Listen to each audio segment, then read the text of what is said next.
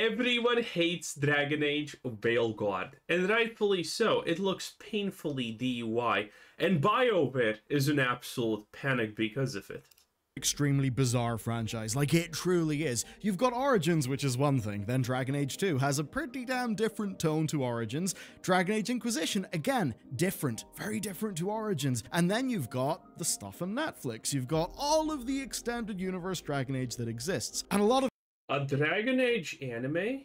I'm assuming this wasn't probably that great, otherwise I would have heard of it. Because if there is a game anime and it's absolutely amazing, like Arcane or Dragon's Blood, you probably have heard about it of it's been quite different in tone. And that does mean that one of the greatest traditions of liking Dragon Age for its fan base has uh, kind of struck once again, and that is the reveal of a new Dragon Age. And then everybody piling in from all sides to let everyone know what they think about it. And this time, everyone thinks it's bad it has definitely been more spiky than most, and there's a clear culprit. It's the trailer. You've seen the trailer, I've seen the trailer. Oh boy, Bellular's trying to not give a valid, real opinions because he's most likely afraid this will ruin his re potential relationship with being a game developer. Very cool. It's a pretty awful trailer in my personal opinion. I think it absolutely blows, and for me, it basically says, don't play this game. Oh, ah, there's actually a disclaimer here that, you know, there are opinions who dislike it. Okay. Game. Things will, though, get a little bit different as we look into all the detail. What can be said, and I think can be agreed on by absolutely everybody, is that the trailer was controversial.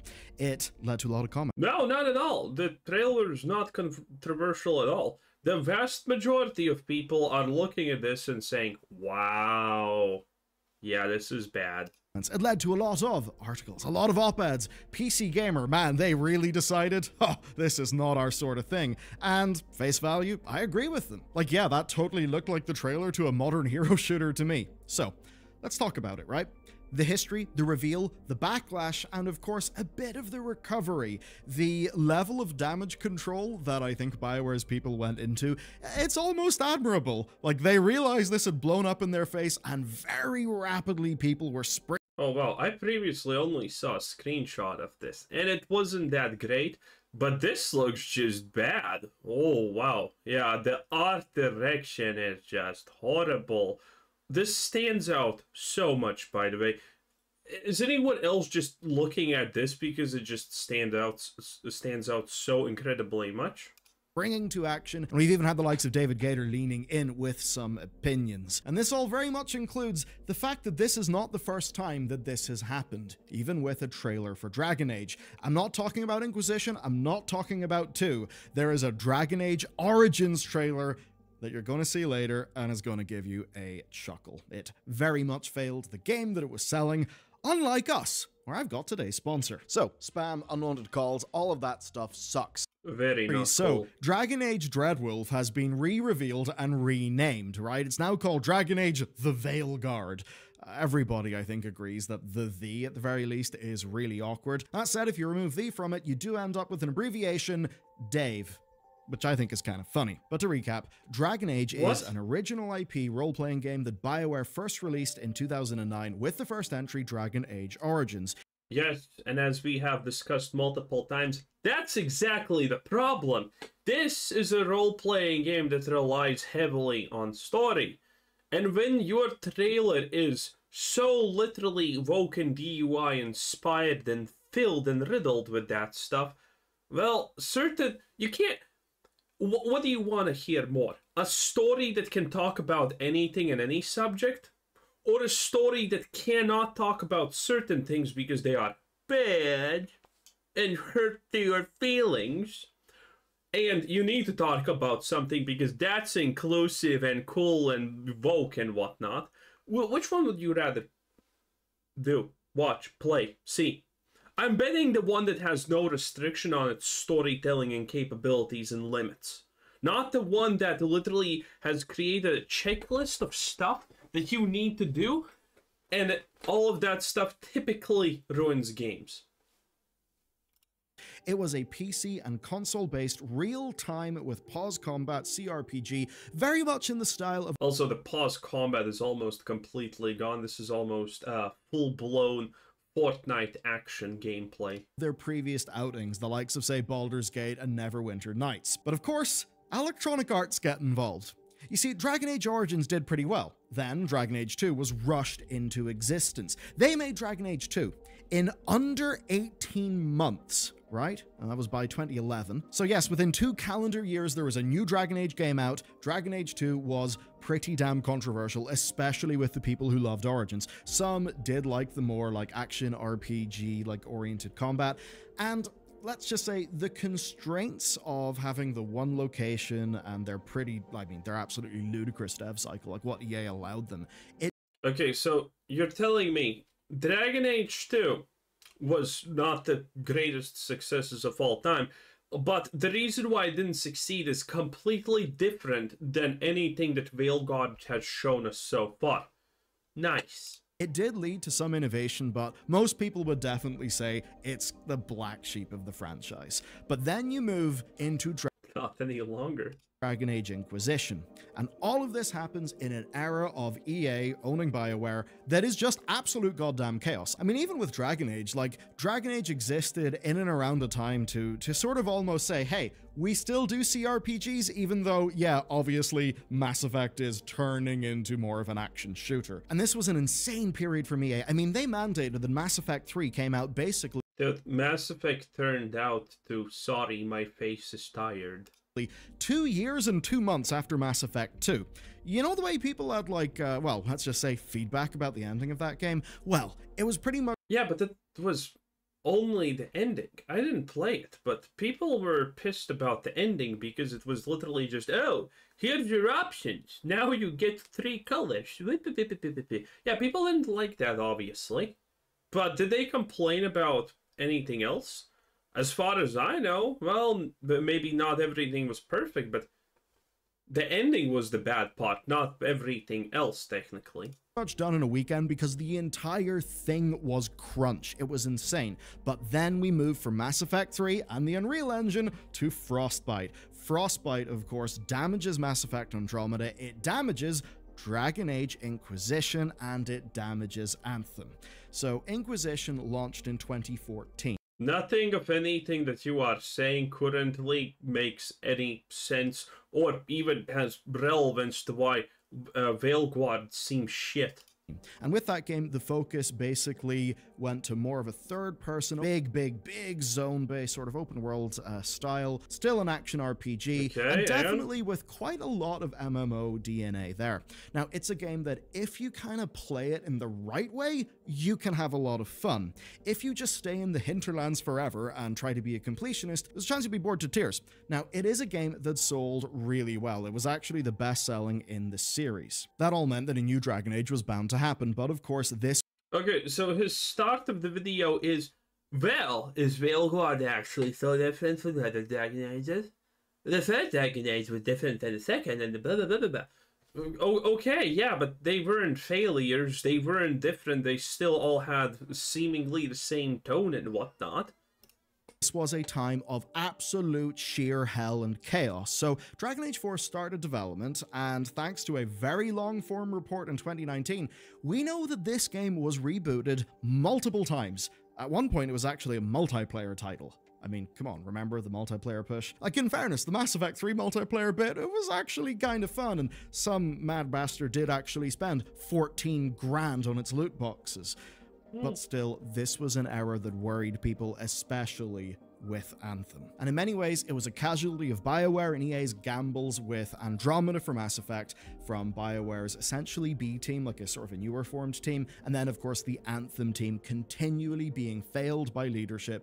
Okay, I have a feeling he's trying to kind of uncover from for the Veilguard by explaining things that are different over time, but now he's effectively saying, oh yeah, all of the recent BioWare and EA stuff has been absolute trash and everyone knows it. So should should I feel better about Veilguard now because everything else was bad? I'm so confused. What's the message here, honestly?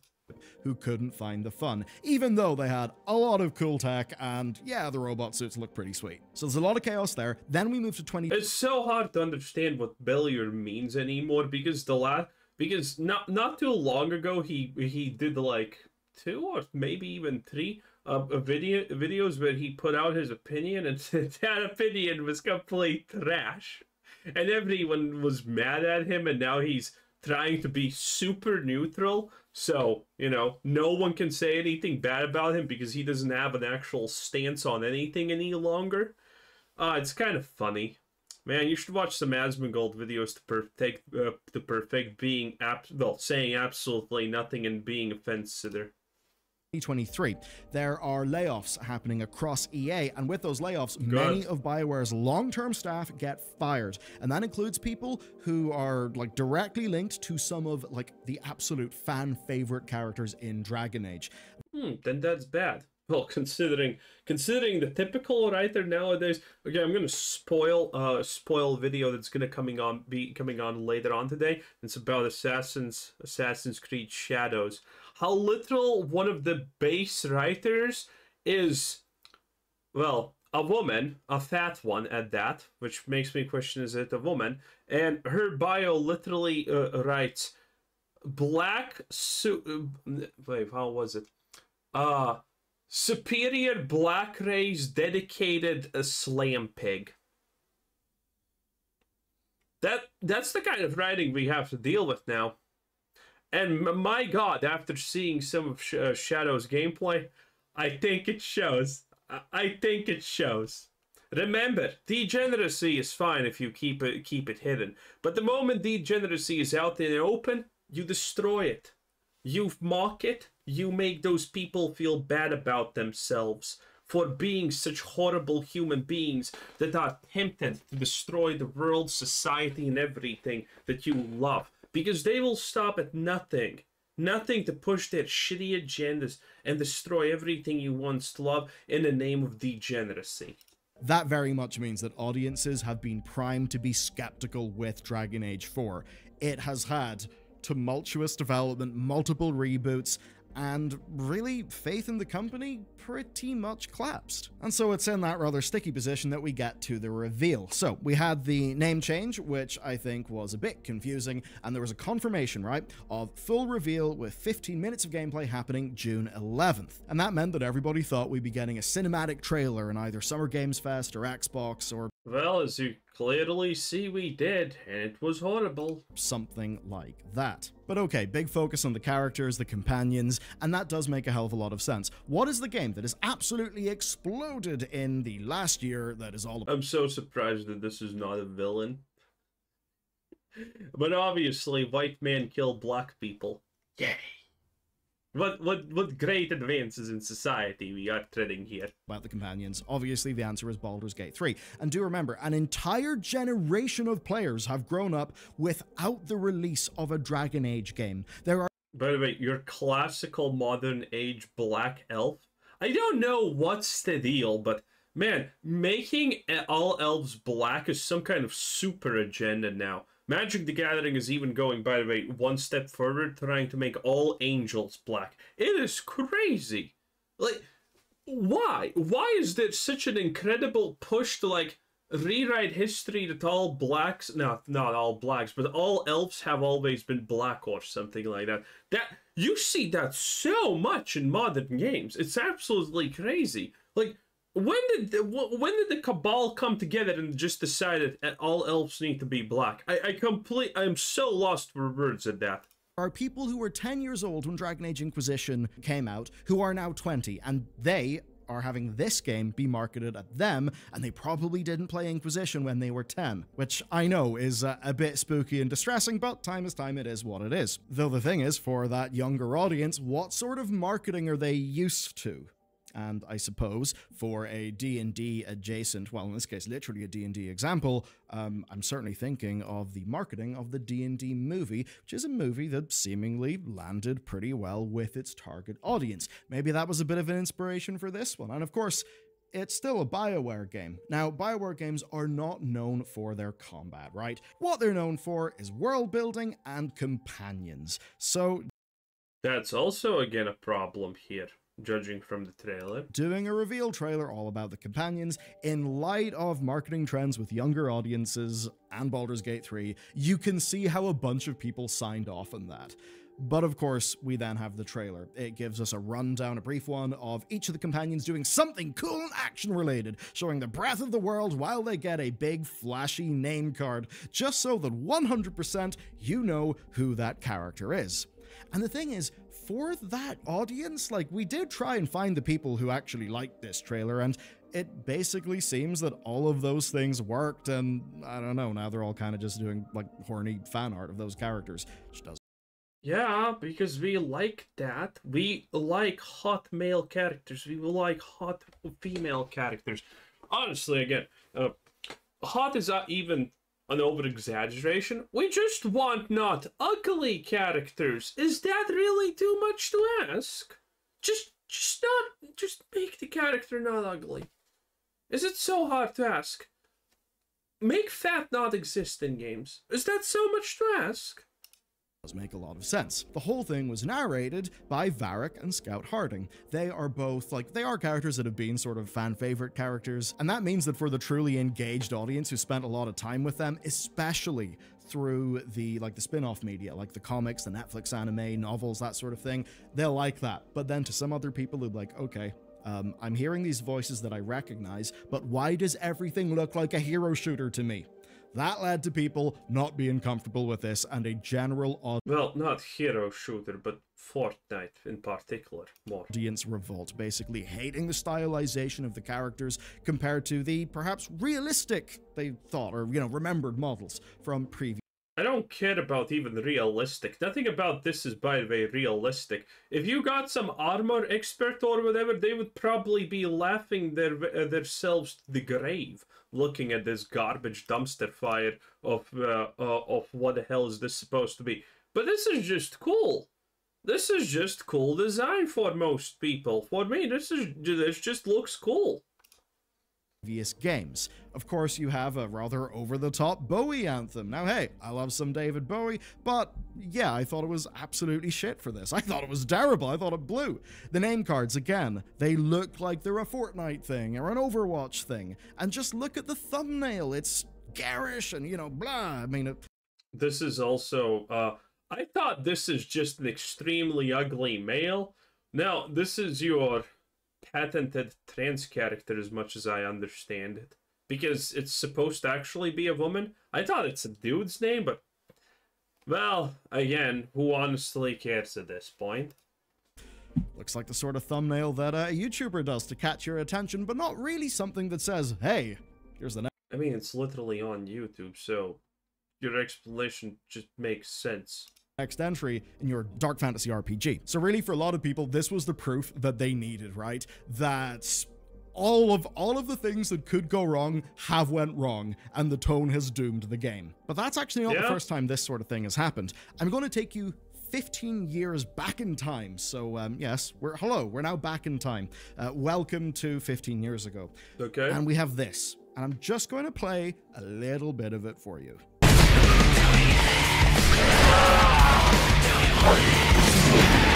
Yep, that Okay, that's very loud, but this is good. If we ignore the part that it's extremely loud, uh, look at this. This is gritty, brutal, and not a cartoon. This is a dark fantasy game. Not some kind of a Fortnite hug me, hug me type of stuff. So, the music is bad, the marketing is definitely not great, but you see what you're gonna get in the game. Not this DEI crap. reminds me of like the the almost dubstep stuff they put in the Warcraft movie where you're like, um, excuse me, what are you doing? This is insane. And this is where I'm going to bring in David Gaider. David Gaider was the lead writer in this franchise. He basically created the setting. Was okay. So uh, again, they're gonna rely on someone's opinion who who wants to keep, keep properly working in an industry. So he's gonna say it's good, or maybe he has a backbone. Let's find out. and responding to this. So somebody basically posted this saying, This is one of the screenshots they released. It looks awesome. What's the disparity between this screenshot and the like reveal trailer that we just saw? It looks like two different games. So David Gaider responded to that, um, calling out another really bad trailer. He said that's always the case. Dragon Age Origins' first trailer, first couple actually, were made by Blur and couldn't have been further from what the game was actually like. And when you actually, again, look at this trailer, I mean, it is bad, guys. It's bad, and it definitely is not Dragon Age Origins. But that's basically the thing. It's the year 2000. But again, you see in the trailer what the game is gonna be about. 2009, Killzone, Arkham Asylum, Infamous. So there is a difference between not liking a trailer, but what you see in the trailer is appealing, but the trailer itself is made poorly, and then there's a poorly made trailer where everything you see in the trailer looks sh- trash and slop. There, there, there's a major difference between those two things. This is an era where mature meant things needed to be dark, things needed to be edgy. Whenever our characters were in a fight and then had a conversation later, they would just statically have a blood decal all over them. It was an era of awkward genital And that is bad. Why? geometry and, of course, a little bit of the old dry humping when it came to the uh, mature adult scenes. Something that. Okay, is that a problem? That's always been, I mean, kind of hilarious in the Dragon Age series. But the thing with Origins is, it still was campy at times. It had this long running, sort of nonsensical gag. Enchantment! And there you have it. Enchantment! So, marketing can't That's funny. target everybody, Was that supposed to be bad? That's kind of funny. And it's incredibly easy to get marketing wrong. And here, all of the stars aligned, they just happened to. Okay, okay, shut up, Bellular. No one cares about your opinion. You're trying so goddamn hard to say, oh, what you saw in the trailer wasn't actually bad. you, you're just misguided. Shut up. No one cares. Anyway, that was Bellular, Dragon Age Veilguard. It's probably going to be an absolute disaster. Let's see how it is when it launches. But judging from the trailer, I'd give it roughly a 2 out of 10 ch- uh, chance to succeed and be good. Uh, you know, I, I would say probably if if there's a lot of combat and you can ignore the story, I would say there's probably like a five out of ten chance that people are gonna call it good. But again, the the the chances of it being good are kind of on the lower side considering everything. Anyway, that was Qwazar and bye bye.